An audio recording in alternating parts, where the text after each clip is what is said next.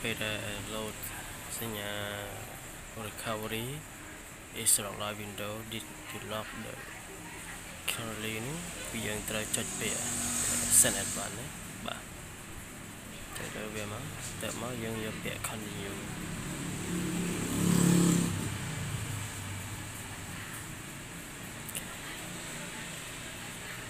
គឺច្រើនហើយពេលខ្លះគឺគឺគេធ្វើ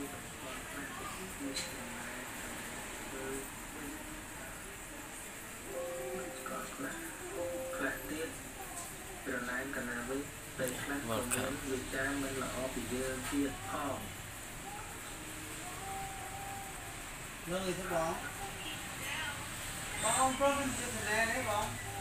តែកណាមិនដឹងនិយាយបាននិយាយអឺមិននិយាយយូរទៅក៏អៀនខ្លួនឯងលេង